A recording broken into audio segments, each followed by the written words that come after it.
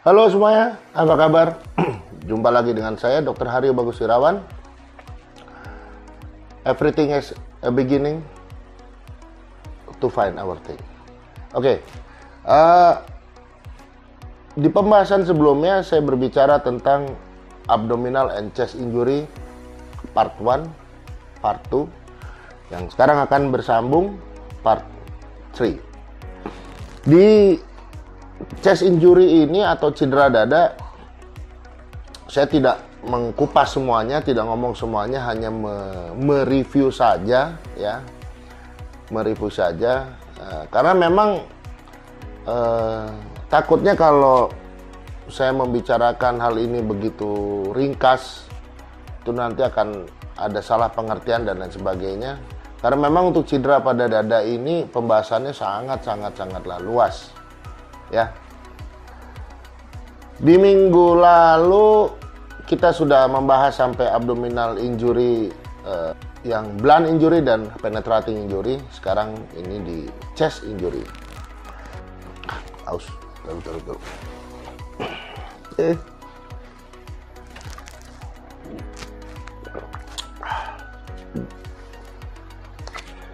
Eh, tadi. Di chest injury, cedera dada, ya. Itu jadi kita harus tahu dulu di dalam dada tuh ada apa nih. Udah jelas nih ada jantung, ada paru-paru, hmm, lambung sebagian, hati sebagian, dan pembuluh darah besar, ya, mayor aorta, mayor arteri atau aorta. Jadi dengan cedera dada sebenarnya kita harus bisa mengira-ngira ini contohnya aja maaf ya. Ya kalau cuman jatuh ada memar dan lain sebagainya itu kita nggak ya agak-agak susah. Mungkin kalau kita tertusuk maaf ya ada benda panjang segini ketusuk cuap di dada gitu. Ya. Ini kira-kira kita tahu nih nusuknya di sini ini yang kena organnya mana aja. Tapi saya harap moga-moga tidak akan pernah terjadi dan jangan sampai amit-amit ini hanya pembelajaran saja. Oh ya, sebelum mulai saya mau disclaimer dulu sekali lagi bahwa uh, review tentang medis dari buku IMGS ini atau buku International Medical Guide for Ships itu hanya menitik beratkan pada uh, profesi pelaut khususnya. Bukannya yang lain tidak bisa tapi kurang tepat pembahasannya karena memang di buku IMGS ini bahasan medisnya itu di diringkas, diringkas, diringkas, diringkas dan diringkas. Sehingga kesannya oh, ini nih setebal ini nih ini yang abdominal dan chest injury-nya aja cuman 5 lembar pak 6 lembar yang menurut saya seharusnya kalau dari segi medis ya sangat-sangatlah kurang ya.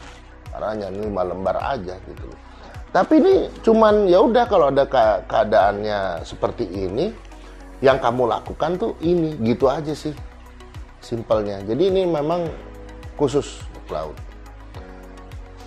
Ada beberapa request yang masuk ke saya minta dibahas secara medis seperti untuk uh, orang yang mengalami gejala apa gastritis atau misalnya untuk yang GERD dan lain sebagainya. Uh, insya Allah akan kita bahas tapi mohon maaf karena sudah diurut proyeknya jadi mungkin tunggu ada kesempatan. Oke. Okay. Nah, ini nih ada di halaman 61 buku IMGS chapter ke-7. Ya. Jadi sekali lagi harus tahu di dalam dada tuh apa isinya. Lalu yang kedua apa yang kamu lakukan kalau ada cedera dada? Ini secara umum aja, secara umum. Jadi ini saya hanya mau, uh, mau membacakan apa yang harus kamu lakukan kalau ada cedera dada, baik itu belan ataupun yang penetrating. Yang pertama, kita harus dulu tahu dulu bagaimana terjadinya. Dari sini aja udah kita langsung bisa membedakan apakah ini tumpul atau tajam. Ya kalau dia karena jatuh berarti kan cedera tumpul. Karena mohon maaf karena ditusuk berarti kan cedera tajam, penetrating, luka tembus. Lalu yang kedua kita harus lihat ada injury lain nggak? Itu kita mesti perhatikan. Jadi emang sih di dada ini uh, yang harus diperhatikan, tapi kita juga jeli juga harus melihat apakah ada ada cedera di tempat yang lain. Lalu ada cedera kepala nggak? Nah, ini biasanya pada uh, jenis trauma tumpul pada saat misalnya ada korban yang jatuh dari ketinggian. Saya sudah pernah bilang di chapter 2 kayaknya. Chapter 2 tentang shock ya. Shock karena perdarahan ada di video saya, nanti lihat aja. Uh, sebenarnya sih saya mengharapkan kalau saya pas baca ini Anda punya udah punya bukunya minimal soft kopinya. Nah, silakan dapatin soft kopinya di video pertama saya di situ ada deskripsinya. Nah, di dalam situ sudah ada link untuk soft kopinya. Oke, lalu kalau ada cedera kepala, taunya dari mana? Ada cedera kepala? Ya, kita menduga aja. Dia jatuh dari ketinggian terus ada luka di atas batu di atas ini di atas bahu ke atas. Entah luka gores entah luka tusuk entah luka memar luka ini luka itu dan sebagainya. Ada luka pun di kepala. Nanti kita harus curigai wah ini ada cedera kepalanya nah kalau udah ngomong cedera kepala hitung GCS nya ini masalahnya lagi sama seperti pembahasan lalu. Saya belum bisa menunjukkan eh, GCS itu seperti apa caranya.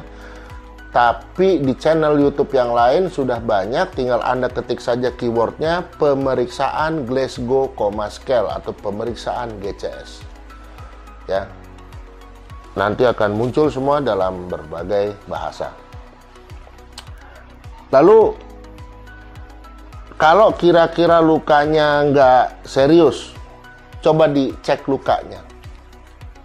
Ada nih satu luka tembus dan lain sebagainya. Ada sucking wound nggak? Sucking wound itu nulisnya kayak gini nih. Nih, nah, sucking wound.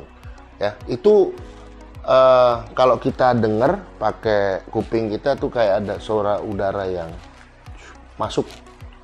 Ya, jadi itu udaranya ada yang terperangkat di dalam nggak bisa keluar. Nah kalau udah kayak gini berarti ditutup ya. Bekas lukanya itu ditutup, jangan sampai ada udara yang masuk gitu loh. Ya.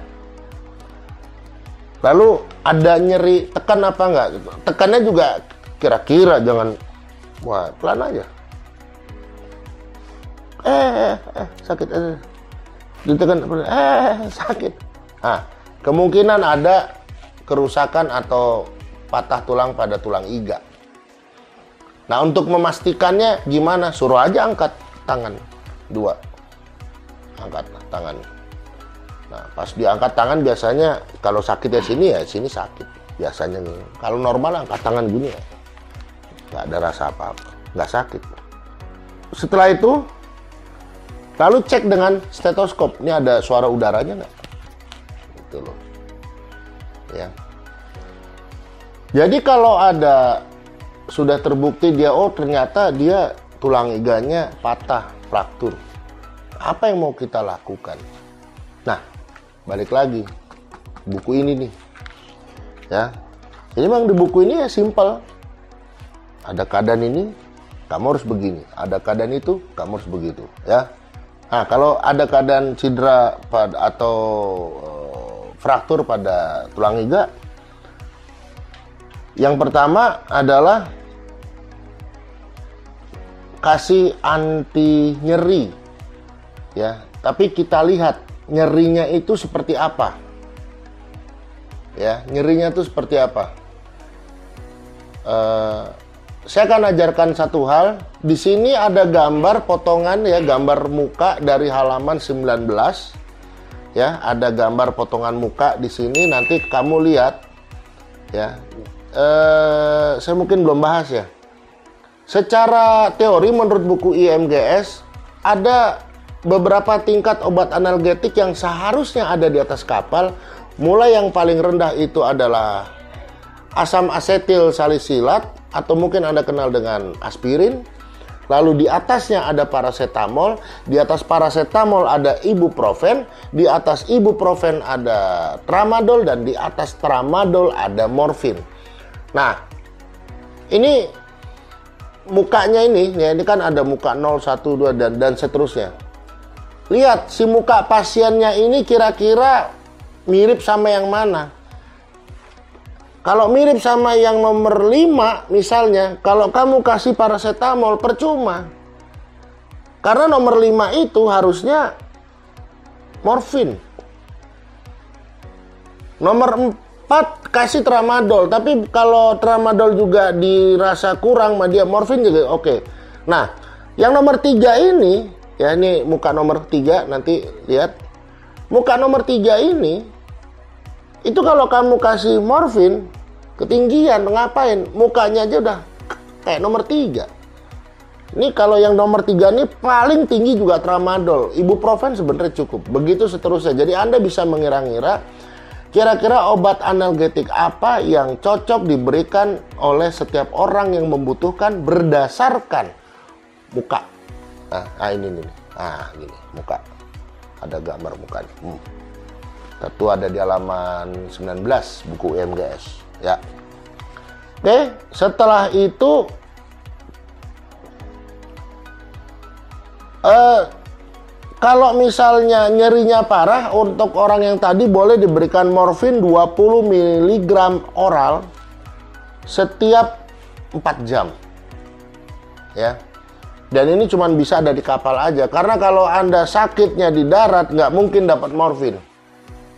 Ya, jadi kalau dari buku IMGS menurut AIMO di kapal itu boleh memiliki morfin, tentu saja dengan peraturan-peraturan yang berlaku. Karena morfin ada undang-undangnya biar gimana juga ya. Asal dia tidak disalahgunakan ya nggak akan kena undang-undang penyalahgunaan obat. Lalu kalau nggak cukup dengan oral, boleh pakai suntik. Pilih salah satu, jangan oral masuk, suntik masuk, double-double. Oral nggak cukup morfinnya. Oke, yang suntik. Yang suntik pakai yang 10 gram. 10 gram via intramuskular. Ya, intramuskular itu melalui otot biasanya kalau nggak di sini di deltoid atau di gluteus pantat. Nah, nah yang otot ini boleh digabung dengan ibuprofen 400 mg 4 kali sehari. Boleh. Ya. Jadi mau morfin yang dimakan, yang diminum lewat mulut atau yang disuntikan di otot itu boleh ditambah atau diperkuat dengan ibuprofen. Itu contoh-contoh uh, atau pembahasan saya pada chest injury. Saya sengaja agak saya ringkas sedikit karena saya mau ambil secara umumnya saja dari sini de dengan harapan Anda semua bagi yang memiliki kepentingan mau membaca bukunya lalu bisa Anda uh, diskusikan di di komen ya. Silahkan diskusikan di komen atau kalau mau lebih privacy lagi silahkan kirim di email. Email saya ada di deskripsi. Uh, Nah, ini nih sebenarnya berhubungan nanti dengan chapter 6. Ini kan saya lewatin chapter 6 ya. Ini ada chapter 6 ya. Chapter 6-nya itu membahas tentang uh, cedera pada tulang cedera pada tulang sendi ya. Cedera pada tulang sendi uh, itu secara umum apa yang harus kamu lakukan dengan cedera tersebut itu nanti jadi mungkin uh, di video yang depan sekali lagi saya bilang uh, next video itu akan di chapter 6. Lalu sudah sudah itu dasarnya udah ada. Nextnya akan saya buat di chapter 12 itu bagaimana anda untuk menulis rekam medis dan uh, menulis untuk rujukan. Ini adalah pembahasan singkat saya untuk chapter 7-nya di bagian yang ketiga tentang chest injury. Demikian akhir kata, semoga bermanfaat. Sampai jumpa di video berikutnya. Wassalamualaikum warahmatullahi wabarakatuh. Out, ya. Yeah. Sadar ada naga bos.